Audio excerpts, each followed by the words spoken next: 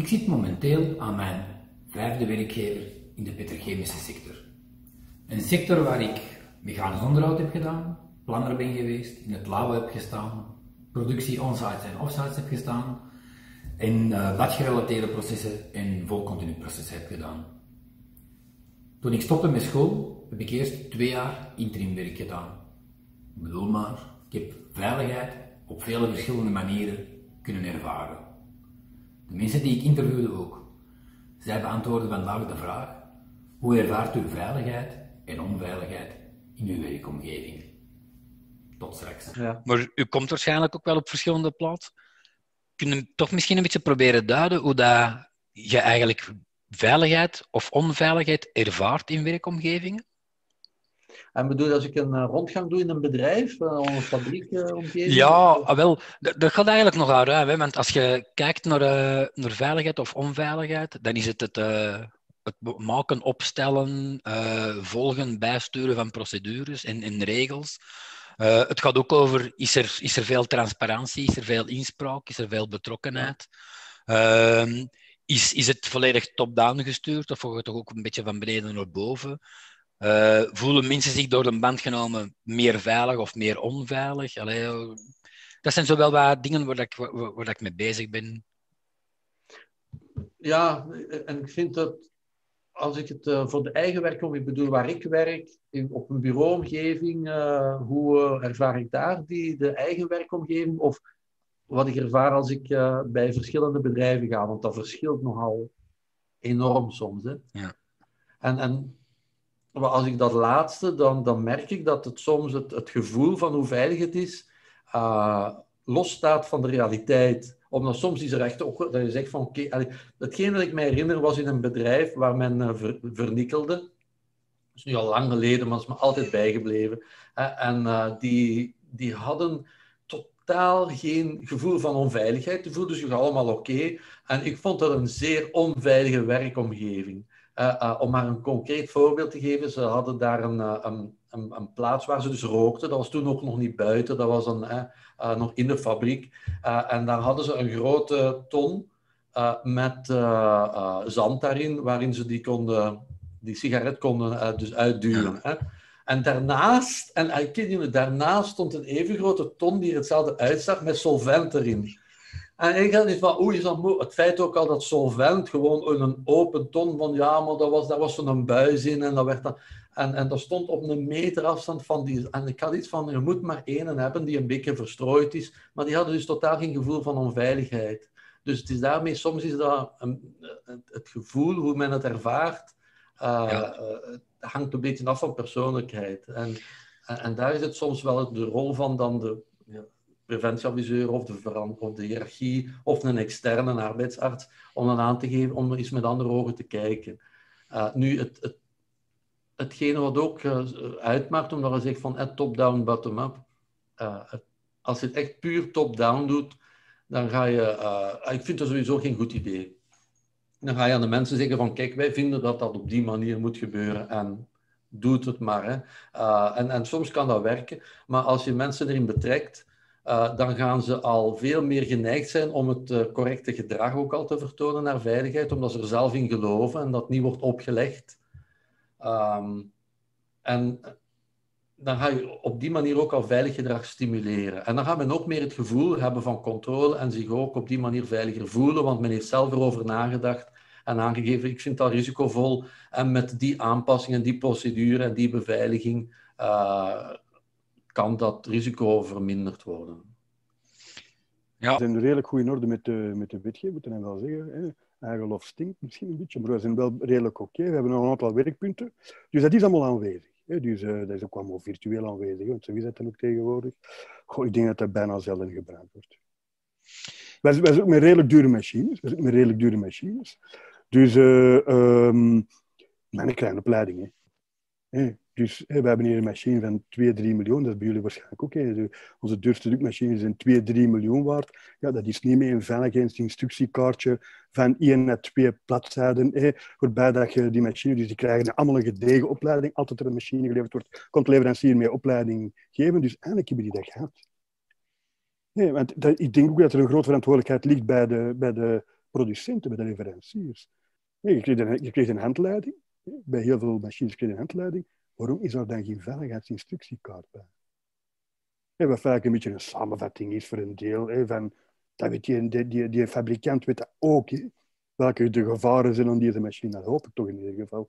Zeker als die CE-conform is. En dan weet je perfect op welke voorwaarden die voldoet en waar dat de gevaren nog, waar dat de risico's nog liggen. Dus waarom maakt die dat en waarom ik dat dan ook weer het Dat zijn dan die dingen dat ik zeer moeilijk te begrijpen. En ik denk van, dat maakt het alleen maar moeilijker. Want die fabrikant heeft dat gemaakt. Die heeft risicoanalyse gemaakt. Hè. Ongetwijfeld van, uh, van zijn machine, hoop ik dan toch. Ja. Even uh, uh, een zijsprong. Er is een, er is een interessante studie van een andere Sydney, waarschijnlijk iets bekender in de veiligheidswereld dan ga. Die noemt Sydney Dekker. Mm en die heeft eigenlijk in Australië, heeft die, denk 56 hospitalen bezocht. Die is daar het verplegend personeel gaan interviewen. En ehm, door een band genomen had een hospitaal ongeveer een 600-tal regels en procedures uh, die men moest volgen. Ja, is... Als, je, als uh, de eindconclusie was dat, dat verplegend personeel dagelijks ongeveer 0,5% van die dingen gebruikte. Dus als ze met een 0,5% van heel de papieren tijger toekwamen om hun dagelijkse job te doen, en dat ze misschien af en toe her, her en der wel eens een stukje informatie nog extra nodig hadden, maar eigenlijk 0,5% dat was voldoende. Volledig mij akkoord. Ik denk, ik, ben ook, ik denk ook dat die mensen het beter weten dan ik. Eigenlijk van overtuigd. dat dat soms heel raar moet zijn. He, zo'n een, hey, over mijn schrijnwerker, over mijn houtbewerker. Dan moet ik tegen die mensen gaan uitleggen hoe, hoe dat hij die kolomboormachine moet doen.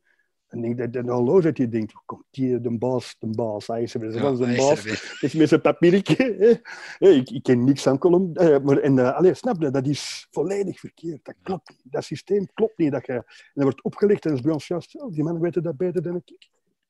Je hebt nu wel hoop eigenlijk al... Hoop ik dan toch ook voor u. Ja, ja, en, en voor u, hè. Wel voor mij en voor mij. Ja. En maar, dat, maar dat geldt voor heel veel dingen. En je kunt wel specialist zijn misschien in ergonomie als preventieadviseur. Hè. Je hebt, je misschien wel een aantal vlakken waar je iets of wat beter bent, maar niet heel dat spectrum. Niet heel dat spectrum. Dus je zit altijd ergens in een, in een, in een, in een soms, denk ik, ja, een positie waar je, dat je iets moet opleggen aan mensen, waar je toch te weinig... En je kunt het dat wel, maar dat is ook niet de bedoeling, denk ik, hè, dat je een hele hoop consulenten en uh, andere mensen daar rijk mee maakt. Het wordt op die manier ook onwerkbaar en voor nieuwe bedrijven onhaalbaar. Begin maar eens een nieuw bedrijf. En zie maar eens dat je in orde bent met heel je met heel uw uh, welzijnswetgeving. En dan vind je dat de overheid tekort schiet. De overheid die zou moeten zeggen, hier zijn de standaarden van de basisapparatuur. Hè.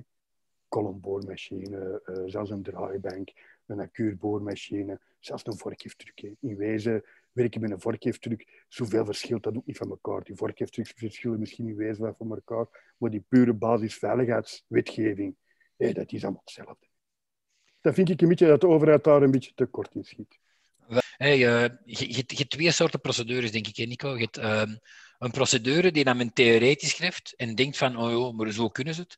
Of je een, eh, dat noemt dan work as imagined. Of je een procedure die dat besproken is met je uitvoerders, met je werkmensen, waarbij de zeggen van, joh, nee, nee, nee, zo doen wij het.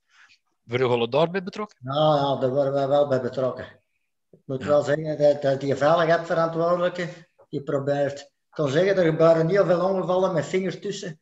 Bijvoorbeeld, uh, als wij laden, moeten we hout in de zij steken en daar ons materiaal tegen, om, omdat je volgens de procedure ijzer tegen ijzer, dat mag niet op het water. Dus wij moeten er al, maar er zitten er heel veel met je vingers tussen. Nu zijn, zijn er al verschillende dingen geprobeerd met magneten en dit en dat. Daar zijn we nog altijd mee bezig. Daar worden we constant in betrokken hoe kunnen we dat oplossen? Uh, is het dan? Ja, dus ik, ik stond er eigenlijk voor mij voor in.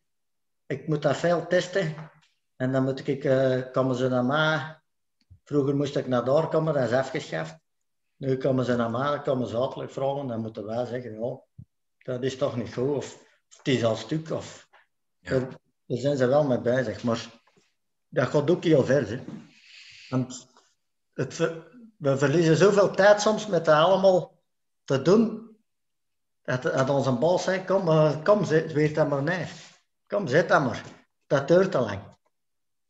En dat, ja, dat zijn de, de twee zaken waar, waar het bij ons eigenlijk om boven nog wat mis.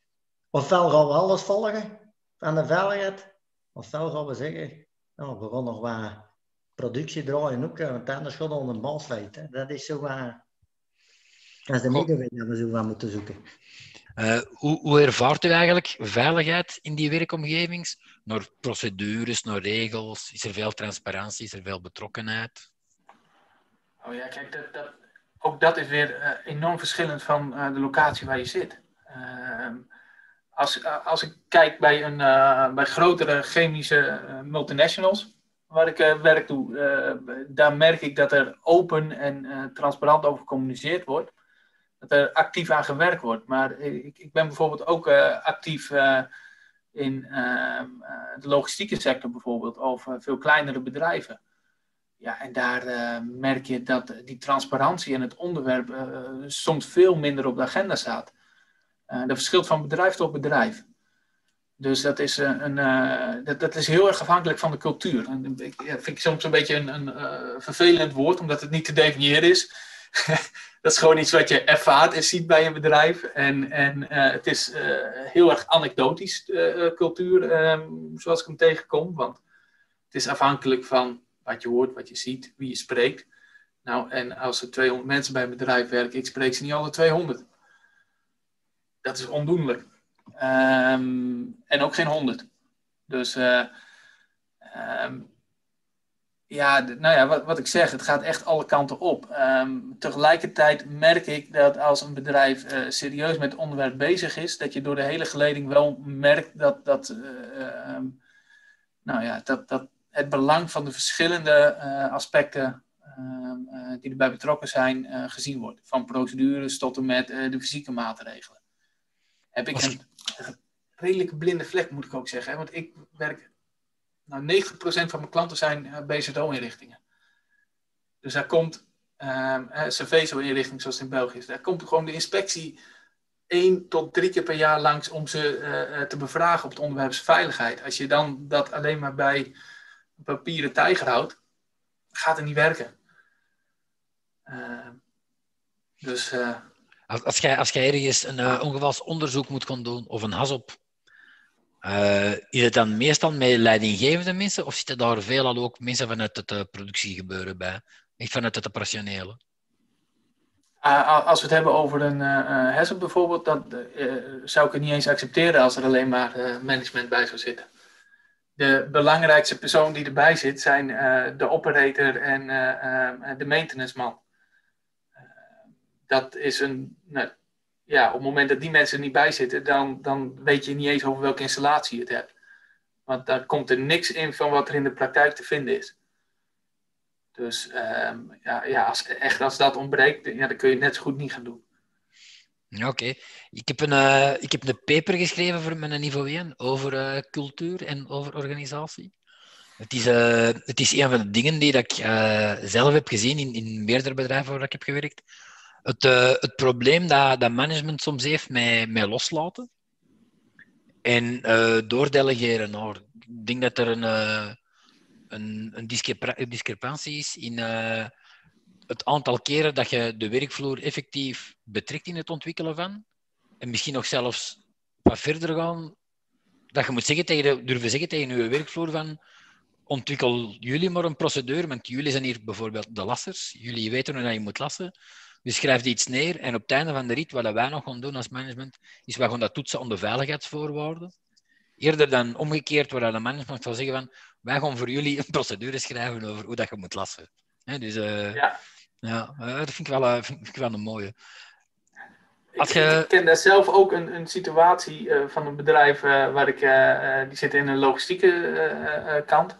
Um, en jaren geleden is een hele veiligheidsmanagement systeem is, uh, opgezet. Uh, eerst door een externe adviseur en uh, toen door iemand die wel van de bedrijfsvloer kwam, maar in zijn eentje de veiligheid daar, um, coördineerde. Die heeft het veiligheidsmanagement systeem verder opgezet. maar het werkte niet zo heel erg goed. Na het vertrek van die man uh, zijn er ehm, van de verschillende distributiecentra zijn er mensen vanuit ehm, de productie die, zijn, die hebben ook veiligheidsopleiding gedaan en die zijn ondersteunende functies op veiligheidsgebied gaan doen. Allemaal mensen die er zelf nou, echt veel mee hebben gewerkt en ook vanuit de praktijk komen. En je merkt dat er veel kritische en veel praktischere zaken naar voren komen. En ook dat de procedureel gewoon wordt gezegd, ja, je kunt je wel zeggen, dit is een ongewoon voorval. Maar dit is niet toepasbaar voor ons. Mensen zijn handen en voeten nodig. Dus de feedback die er nu komt op de procedures en, en hoe ermee gewerkt wordt, is veel concreter. En daardoor worden de procedures ook beter, want je haalt er huis weg. Als je van boven wat naar beneden gooit, ja, dan probeer je eh, ergens een mal omheen te zetten van nou, het moet zo werken, zonder te kijken of het past. Uh, op, gelijk als bijvoorbeeld uh, de gouden regels, hè, de total, was dat moeilijk voor die mensen. Ja, je, moet die twaalf gouden regels kennen. Dus ja, hoe heb ik dat hier aangepakt? Ik heb van die gouden regels een verhaal gemaakt. Dus uh, ik heb wel de volgorde een beetje gewijzigd. Hè. Maar ik heb dat in een, verhaal gegoten, die, die 12 gouden regels, zodat je eigenlijk die gouden, al die 12 gouden regels in een verhaal terugvindt. Met die gast zijn werk. Begrijpt je? Dus bijvoorbeeld een voorbeeld daarvan, uh, een van die gouden regels was uh, hoog risico. Dus ja, die verhaal begint, ja, je komt in een fabriek met hoog risico. Dus ja, dan heb je al de, je eerste gouden regel. Je gaat je aankleden, dan heb je al je PBM's, dat is de tweede gouden regel. Je gaat kijken naar je gereedschap en je tools. Hè? Dat is al de derde gouden regel. Je gaat bijvoorbeeld naar je werkplek. Je ziet verkeer.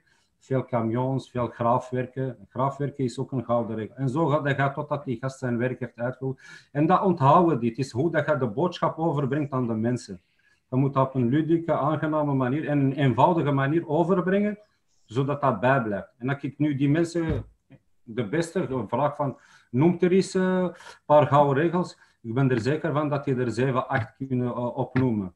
En dat ik uh, maar in het begin focuste van, jullie moeten die 12 gouden regels kennen, dan kost ze er amper 2, 3 vertellen. Dus als je de boodschap op een andere manier, kun je er meer uh, uithalen. En dat gaat ook met, zoals dat ik zeg, als ik wil dat die veilig werken, dat ik dat dat ik die instructies geef. Wij geven die ook site-introducties en zo. En wat doet ze dat? En we geven regelmatig herhalingen. We doen ook regelmatig zelf audits op de werf, zodat die, dat we zeker van zijn dat ze weten uh, hoe dat ze veilig kunnen en uh, waar dat ze naar zeker naar moeten kijken om hun werk veilig uit te voeren. Um, waar hadden jullie eigenlijk de minste aan? Want uh, ja, van de moeilijkheden die ik zelf altijd heb ondervonden als, als operator, dat was van, je moet een regel volgen, maar in elke regel zit zo wel een grijze zone, waarbij dat ze verwachten dat je eigenlijk zelf een risico-inschatting maakt op die moment. Als je een regel op een gegeven moment niet meer strikt kunt volgen, maar je kunt het werk wel veilig laten gebeuren door iets anders te doen, dan mag het verder gaan. Waarbij ze ook wel zeggen van, als je denkt dat het niet veilig kan, dan moet je stoppen. Doen ze dat bij jullie ook, de kans geven van er zelf over na te denken? Of is het eerder van direct stoppen en, uh, en terugkomen? Nee, nee, we, we, we eigenlijk een beetje dat die mensen uh, zich in wanneer dat ze zich in een situatie uh, zich bevinden waar dat werk onveilig moet gebeuren, dat ze stoppen. We hebben een time-out, dat is zo'n soort SOS, stop onveilige situatie. Dat is zo'n formulier. En die, moeten dan, die vullen dat uit in en die geven dan naar hun leidinggevende en dan komt dat bij de veiligheidsmensen terecht. Dus uh, als die zo'n melding doen, uh, maken die zelfs kant op een beloning binnen ons bedrijf. Dus wij stimuleren echt om de mensen bij onveilig werk te laten stoppen en zeker te, te doen uh, nadenken. Niet alleen hij, hij met zijn voorman en in, in overleg met de veiligheidsdienst. En, zo gelijk als op Total en de grote verben hebben allemaal de veiligheidsman die hen dan bijstaat. Dus, maar wat, je, wat je dan eigenlijk doet, is ter plaatse stoppen en een nieuwe risico-evaluatie doen met de uitvoerders en dan de leidinggevende. Een risico-inschatting, ja. En uh, als we de juiste middelen en, uh, we gaan, en we doen een risico-inschatting en dat kan veilig gebeuren. Misschien door gebrek van die personen, Dat kan zijn dat er door gebrek door die persoon, dat hij niet weet hoe dat hij dat juist die bepaalde job moet gaan uitvoeren, dat hij bij deskundigen, dus die voorman is een deskundige ter plaatse, de veiligheidsman is een deskundige op veiligheidsgebied, dat die hem daarbij assisteert. Als ze er alle drie er niet uit zijn, ja, dan gaan we dan overleggen met de klant dat we dat uh, werk niet veilig kunnen uitvoeren en dan moeten zij zien voor andere oplossingen, eventuele oplossingen. Ja, oké. In het verleden ook is een paar keer gebeurd dat de werken gewoon niet werden uitgevoerd, dat ze een andere aanpak, dat ze eerst een overleg uh, hielden met iedereen, met alle betrokkenen, met operators, met PCO's en zo, voor overleg van uh, hoe gaan we dat hier op een andere manier doen. Um, als ik, ik denk, de, de uitdaging is, hoe kom je aan je bijvoorbeeld je procedures? Uh, bijvoorbeeld waar wij, waar wij nu mee bezig zijn uh, met een nieuwe spoorbeveiligingssysteem. Dat betekent uh, nieuwe, nieuwe werkwijze voor de machinist en voor de trainingsleider. En die gaan we analyseren. En wij gaan het met machinisten en met trainingsleiders gaan we kijken hoe goed zijn die procedures. En met uh, met, zeg maar een, uh, iemand die geschoold is in, uh, in als docent en die kijkt naar de taal en die kijkt naar en hoe kan ik dit nu ehm, mijn mensen opleiden. Dus hoe vertaal ik het naar de opleiding toe? Um, en ik, dus je neemt daar een aantal stappen in jouw proces om te laten zien, krijg ik mijn procedures goed? Maar die zijn niet 100%. Uh, het is altijd afhankelijk van hoe vaak gebruik je procedure, uh, wat weet je daarvan. Um, en niet alleen de procedure, maar wat weet je ook van het systeem en hoe het systeem werkt. En waarom bepaalde keuzes zijn gemaakt. Um, waarom gebruiken we daar een, een, handafsluiter en op een andere plek een pneumatische klep? Um, en een operator die snapt, ik heb een pneumatische klep en een handbediende klep. Maar is hem uitgelegd waarom precies dat verschil daar is aangemaakt, is ingebracht in, in, het, in de fabriek en wat gevolgen de een of de ander heeft. Um, dus het is niet alleen een kwestie van de procedure hebben, maar het is ook de, de uitleg die daarbij hoort en het, de, de, de achterliggende, dat systeem waar die procedure over gaat, hoe, in hoeverre begrijpt men hoe dat systeem opgebouwd is en waarom bepaalde keuzes zijn gemaakt. En ik vrees dat we daar uh, soms te weinig aan doen. Ik denk dat je dat altijd moet afvragen van oké, we hebben bepaalde procedures. Um, waarvoor dienen deze procedures? Um, en, en gewoon letterlijk naar de mensen toe lopen, naar de operator toe, van hey, uh, wat gebruik je wel en wat gebruik je niet? Um, en als er dingen zijn die men zegt van ja, die gebruiken we niet, ja, dan ga ik over nadenken. In ieder geval, mijn, ik ben geneigd om dan te zeggen van ja, oké, zijn ze nodig? Waarvoor dienen ze? Um, is dit uh, ooit als, uh, als er op een maandag, een blauwe, een blauwe maandag, om 12 uur s'nachts en het regent, dan moeten we die procedure volgen? Ja, heb je dat nodig? Wat, gaat het, wat, gaat het, wat is de toegevoegde waarde? Um, en daar is heel veel geschreven inderdaad ook over uh, verminderen van procedures. En um, ik denk dat je ook de, de lef moet hebben om procedures weg te gooien. En niet bedenken van nou weet je wat, we gaan het oplossen, we schrijven nog één. Um, aan een, een, goede collega van mij, uh, een, een, aantal jaar geleden, heb ik die vraag gesteld. Van hey, um, wij doen de haas op, en uit die HASOP komt uh, een aantal technische dingen en een procedure. Dus die procedure wordt geschreven. En wordt die procedure getoetst of dat een goede procedure is? En hij kijkt mij een beetje schaapachtig aan en zegt: Nee, want die sturen we gewoon door naar de klant. En dat is de klant om dat zo te implementeren. En voor mij dan, ja, dan hebben we het niet begrepen. Dat is, dat is eigenlijk uh, een van de dingen. Dus uh, mensen worden gestuurd soms automatisch door wat hij noemt een bias. Er is iemand in, uh, in de US, uh, Buster Benson, en die doet er onderzoek naar en die heeft eigenlijk al uh, 300 van die biasen gevonden. En een van die biasen noemt loss aversion. En dat is eigenlijk hier wat je beschrijft. Hè. Als je al veel energie, geld, tijd, wat dan ook, hebt gestoken in iets, is het moeilijk om daar afscheid van te nemen en te zeggen van, oh, eigenlijk was het toch niet goed, we moeten iets anders gaan doen. Dus dat is, uh, dat is, heel, heel herkenbaar. Hè? Op mijn huidige job vind, voel ik mij heel veilig. Ik weet, uh, magazijnen, dat zijn uh, risicowerkplekken. Ik loop daar nou ook al wel heel lang rond. Uh, maar op mijn huidige job is dat eigenlijk heel goed. Ik weet, als ik morgen met iets zit, en dan mag het heel klein en stom zijn, en ik ga naar mijn manager en ik zeg van, kijk Ellen, um, dat en dat, die situatie daar op de werkvloer, ik voel mij er niet goed bij, of ik voel mij er benauwd bij. Er wordt naar geluisterd en er wordt eigenlijk echt direct op gereageerd. Um, in dat opzicht denk ik dat wij ook wel heel hard schillen van andere business units en afdelingen, want die ken ik ook. En ik weet dat niet overal, ja, dat ze niet overal evenveel prioriteit aan geven. En de menticles ook, uh, heel hard er wordt doorgepusht en zo. Um, dus als ik het gevoel krijg ja, dat er mij echt realistisch gezien iets kan overkomen, of dat ik een accident kan hebben, dan dat is voor mij dat gevoel van onveiligheid. Is dat dan niet een beetje hetgeen waar je daar juist zei eigenlijk over dat dynamische? want uh, je had me dat van de week ook al even geschreven toen ik de vragen naar u had doorgestuurd. Ja. En dan uh, had ik, maakte ik mijn eigen directe bedenking van wat je nu zegt tegen mij, dat is eigenlijk reactief. Hè? Wat bedoel ik daarmee?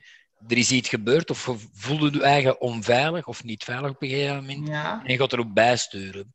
Ja. Terwijl dat eigenlijk mensen van binnen de veiligheid uh, prefereren van eigenlijk zo wat proactief te werk te gaan. Hè? Dat, Ja. je, dat, dat Ja. je daar... Ik denk dat dat is dat, dat, dat, dat haalbaar is. Denk dat je, dat je, je hebt er eigenlijk al wat op geantwoord in het begin, maar dat je, dat je veiligheid constant kunt garanderen. Je kunt dat niet constant garanderen. Je werkt met mensen. De, allee, ja, menselijke fouten. De mens is, is, is ook geen, geen robot en is niet alle dagen op 100% hetzelfde niveau. Het is een slechte nacht. Voor een collega die slecht geslapen als een kleine zes keer uit zijn bed. Dus ik denk niet dat je dat altijd kunt garanderen. Ehm, sowieso, ja, preventief is altijd beter uiteraard. Hè. Maar ik denk in de meeste bedrijven dat er ook al wel een, een globaal veiligheidskader is. Ja, een basis zal ik maar zeggen. eh. en, en dat er dan van daaruit eh, ja, verder wordt opgebouwd, zou ik maar zeggen. Hey, Bij Ja. ons is bijvoorbeeld de regel ook in het magazijn. Als er een voetganger binnenkomt en je zit op een machine, een vorklift, een reach-truck, een hoogtewerker, dan moet jij stoppen van zodra dat je op, op vijf of zes meter van u is, moet jij stoppen, je lippen op de grond leggen ehm, en echt je vorklift afzetten. Dat is bijvoorbeeld zo, ja, een van die, van die basisregels. Ehm, dus, allee, ja, dat, hoe moet je dat zeggen? Die zijn, al, die zijn al een hele tijd in voegen. Dat zijn eigenlijk dingen die ook een beetje een gewoonte, allee, gewoonte zijn geworden. Het is eigenlijk een, een een vraag die ik ze nog wat op, eh, op misschien had willen stellen, maar je begint er nu toch eh, eh, zelf over. Eh, regels en basisregels.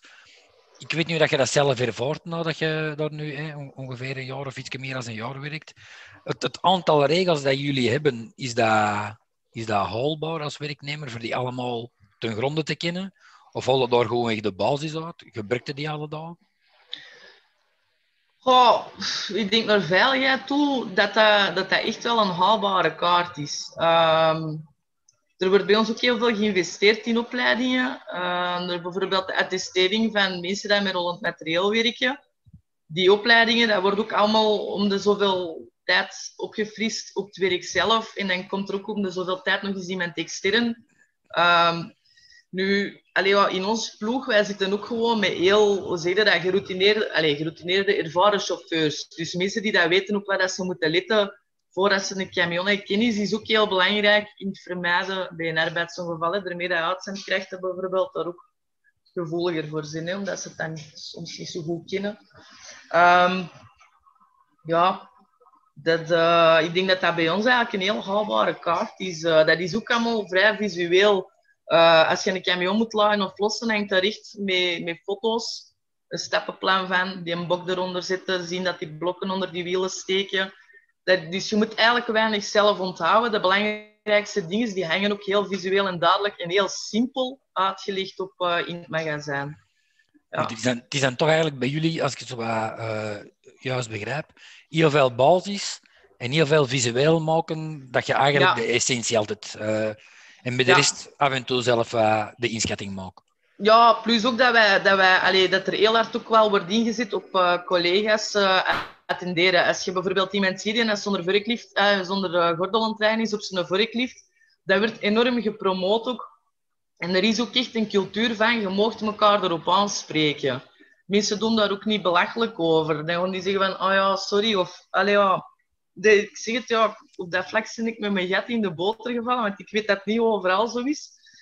Maar ja, bij ons is dat eigenlijk wel heel, uh, heel positief. En het, uh, het aanspreken, hangt er dan soms consequentie aan? Of is het gewoon aanspreken en... Uh, en, en in, eerste instantie, in eerste instantie zeggen we gewoon van... Hé hey, maat, uh, uw centuur vast doen. Als, dat, ja, als, je er, als je zegt van... Ja, nee, dat is niet nodig. Of dat is niet dit of dat is niet dat. De, iedereen weet ook dat wij safety observations invullen. We moeten eigenlijk per maand minstens één observatie maken. Dat is ook wel vrij sumier. Dat is een half A4 waar je ja, gewoon je onveilige situatie dat je ziet kunt uh, omschrijven, wat er dan volgens u moet gebeuren. En dat wordt echt heel regelmatig bijgehouden. Er is ook een stukje bonus aangekoppeld. Dus die arbeiders bij ons die weten ook van, als ik, uh, ja, als ik niet een beetje actief mee naar die veiligheid werk, ja, dan, dan hebben wij minder centjes. Dus eigenlijk wordt dat, ja, voor die mannen marcheert dat zo. Dat is uiteindelijk ook de reden dat je elke dag staat. Hè. Je moet een boterham verdienen. Dus dat wordt echt wel, allee, dat wordt heel hard gestimuleerd. Niet alleen bij de, de mensen op het bureau of bij het management of HSIQ, maar echt die arbeiders zelf. Um, plus elke maand de beste safety observation. Uh, die krijgt dan ja, een of andere incentive of prijs. Um, dus ik moet zeggen, dat werkt gewoon bij mijn collega's, werkt dat echt wel heel goed. Die mannen zijn er heel hard mee bezig. Um, ja, dat, uh, dat leeft heel hard bij ons eigenlijk. Ja, ik vind, ik vind communicatie, vind ik, allee, dat mis ik heel vaak in, in, in het uitvoeren van werkzaamheden. Um, en wat bedoel ik daarmee? Regels, ja, er, zijn zoveel regels waar dat je je kunt onthouden. En, en inderdaad, dat je er eentje mist, vanaf dat is die gouden kaas dat wij altijd zeggen, hè, dan eh, je, je checkt iets niet en dat kan net het onveilige zijn. Nu, communicatie, allee, dat, dat, dat, we erover praten van mannen, vergeet dat niet, mannen, denk daar aan. Mannen, ja, dan, dan mis ik uh, heel erg. We, hadden van, van de week twee incidenten, of vorige week, twee incidenten met, met hoogwerkers. En ja, heel raar, maar er was iemand en die had nog willen zeggen. En dan denk je, ja, dat, dat, is toch heel spijtig dat dat niet gebeurd is, dat, dat willen zeggen. Had het gewoon gezegd en dan zei degene die dus niet aangelijnd was, die, die zei, ah ja, natuurlijk, want dan had ik er wel aan gedacht, want hij, had al tien keer naar boven gegaan aangelijnd en die elfde keer niet. En de andere had nog willen zeggen, vergeet u niet aan te lijnen je want je komt maar even uit de bak. Ja, dus communicatie is, is vind ik, ja, het, mij het belangrijkste in, in de veiligheid. De, de regels, maar er zijn zoveel regels, kunnen we die allemaal onthouden? Nee. Bestaan er dan weer manieren voor? Ja, de LMRA's op papier en zo. Kun je alles op papier zetten, want dat, dan, dan zouden hele lange documenten krijgen die dan ook weer niet meer gelezen worden. Maar, dus erover praten en elkaar, er helpen, dat, dat vind ik veel, uh, allee, daar kun je heel veel mee voorkomen. Uh, ja, bijvoorbeeld, allee, ik blijf nu over die oogwerkers, omdat dat nu... Allee, ja. Ja. recent is, dat is, dat is heel vers. Uh, ja, wat dat wij dus uh, met toolboxen hè, proberen wij dus niet, niet meer met LMRA's op papier te werken. Dus wij, wij gaan nog eens, nog eens vertellen en nog eens laten zien. En, en met filmpjes doen we dat, om, om te laten zien, maar dat doet dat. En wat als je iets niet doet, hè, wat, wat, je vindt het stickertje niet van de keuring, is dat belangrijk? Maar nee, want het certificaat zal er wel zijn, maar dan moet je dat ook zoeken. En maar als je dat dan ook niet vindt, ja, dan moet er al een lampje gaan branden. En uiteindelijk zal dan blijken dat, er ook iets, dat er iets aan kapot is. En, uh, dus dat laten wij zien met verhalen. Maar, maar uh, ja, na de twee incidenten dat we hadden, zei er inderdaad een veiligheidsman die zei: laten we een LMRA maken, dan kan dat nooit meer gebeuren. Ik heb vlak afgezegd, wat belangen niet, op wat slaagt dan nou? Je kunt niet voor, voor al wat je hier vastpakt naar de LMRA op papier zetten, want dan, dan zijn we dan aan het schrijven, dan moeten we gewoon overal niet meer aan doen.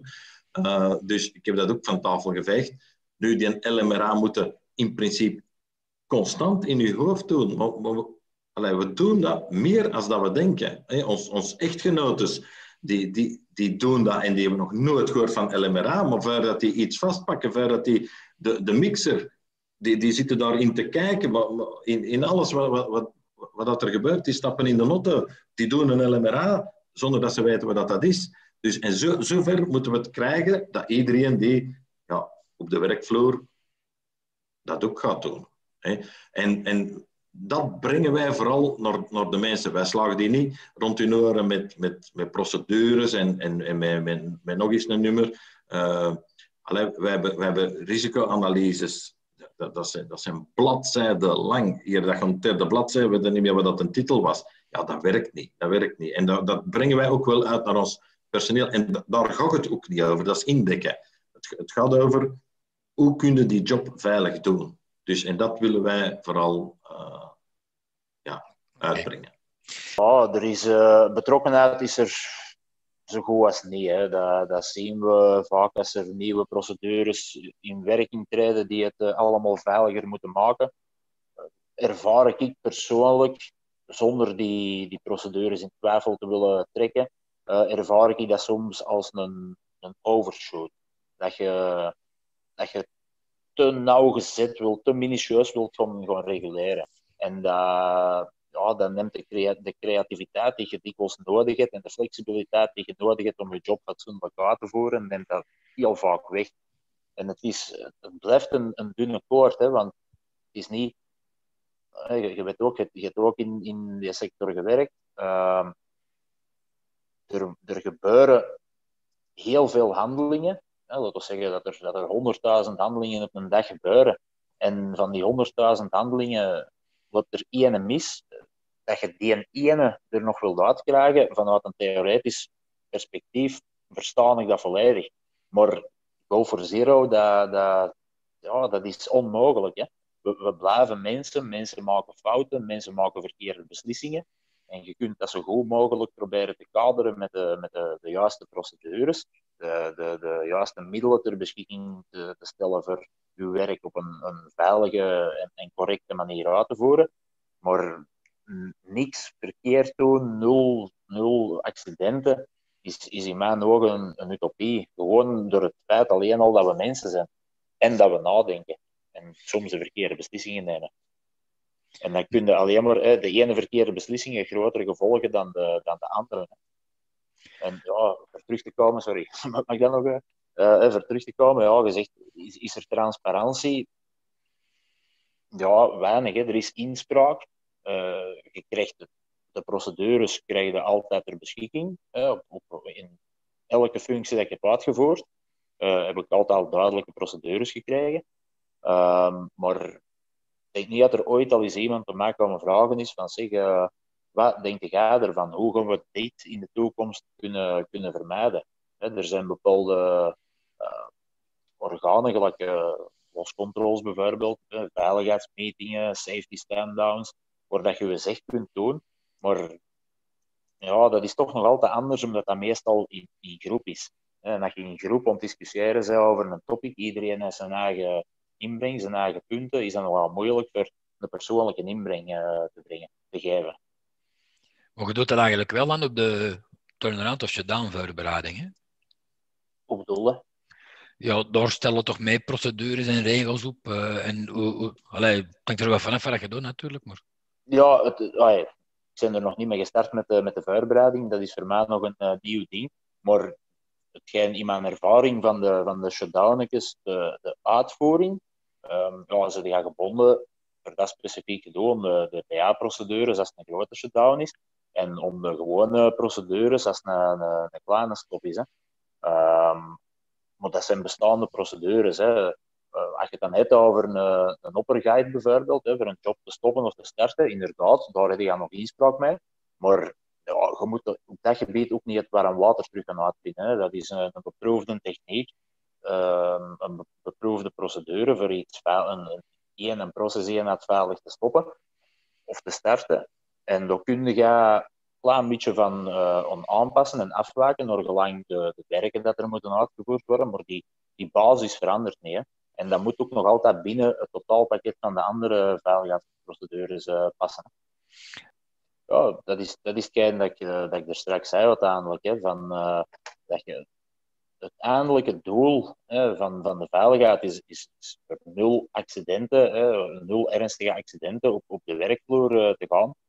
En ja, dat is een beetje. je kunt die vergelijking maken met de, met de, met de corona dat we nou zien. Die, eerst was het de, de flattende curve, de, de, de eerste opstoot dat we gehad hebben. Ja, goed, dat is gebeurd. Ja, dan gaan we toch proberen voor dan naar nul. We laten de mensen die zoeken los. We gaan toch nog proberen dat verder terug te dringen. Ja, dan krijg je een wildgroei van, van regeltjes. De ene wil het zo, de ene burgemeester, een andere burgemeester wil het anders. En op de deur zien de mensen de bomen er bos niet meer en gaan ze die basisregels die ervoor zorgen, die ervoor gezorgd hebben dat die, eh, die eerste bult schoonigers terug naar beneden gegaan is, dan met die lockdown uiteraard, um, gaan, ze daar ook een voet omvegen, omdat ze veiligheidsmoe worden. En dat is misschien geen, hè, dat je, dat je het doelt met die, uh, die mensen in dat ziekenhuis. Uh, ik, ik heb er geen flauw gedacht van hoeveel procedures dat wij op het TRA hebben. Uh, het zijn er genoeg. Um, en dan, dan spreek ik enkel nog maar over, nog niet de, de veiligheidsprocedures, maar de, alle opperguides, ja, de, de, de tien geboden. het, is, het is heel vuil en het zijn één voor één nuttige zaken. Maar voor te zeggen, als je om, om 100 werknemers gaat vragen, stellen over inhoud van bepaalde procedures die je maar eens uh, heel af en toe gebruikt, ja, dat is, dat is hopeloos. Hè. Het is goed dat ze er zijn en dat je ze nodig hebt, dat je er kunt op terugvallen. Um, maar het, meest nuttige in, mijn functie dan zijn de, de procedures voor, voor veilig de job uit te baten. Niet de, niet de overkoepelende. Uh, ik geef maar iets, als er mensen van, van artsen komen werken bij ons, uh, ga ik ervan uit dat die mensen weten hoe dat ze met een kraan moeten werken, dat die riggers weten wat dat veilig is, hoe dat ze het moeten aanslagen.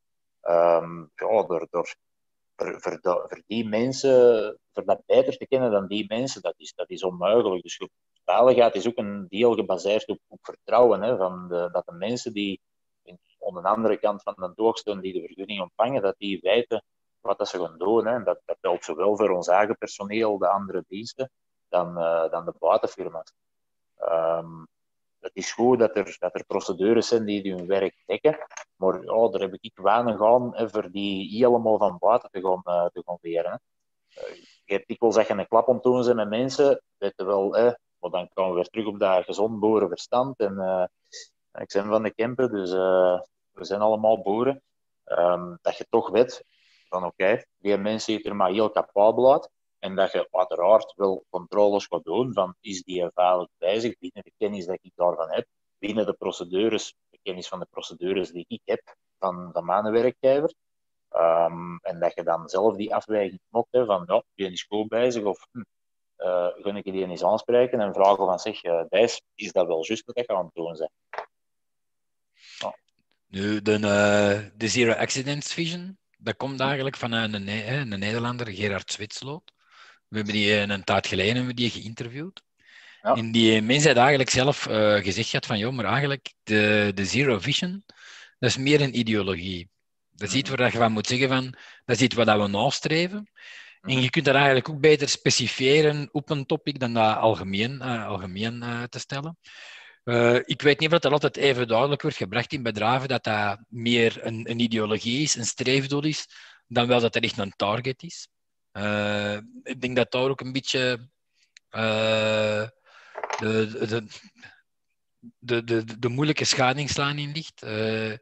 je krijgt dan soms bedrijven of, of sites die daar met getallen afkomen van twee, drie, vier jaar zonder werk, werk, mm -hmm. werkongeluk. Ja waarbij ik dan altijd wel automatisch de reflex heb van Uh, voor alle duidelijkheid, vermaak kan dat. Maar dat hangt er vanaf waar, je, waar je beschrijft als een, een, een, een ongeluk of een accident. Ja, dat is mijn werkverlet. Hè. Maar, wel, maar dat is het een beetje. Hè. Ehm, als je morgen duizend man uh, een kilometer laat wandelen, dan kan het wel eens zijn dat er een zijn, zijn voet omslaagt. Ook al is dat een perfect wegdek. Dus daar ben ik het wel mee eens dat jij dat er niet uit Alleen als je dat niet meeneemt in je, in uw evaluatie, dan kun je daar wel geraken. Het is maar waar je er eigenlijk insteekt. Maar ik denk dat het idee op zich belangrijker is dan, dan hoe dat men het wilt realiseren.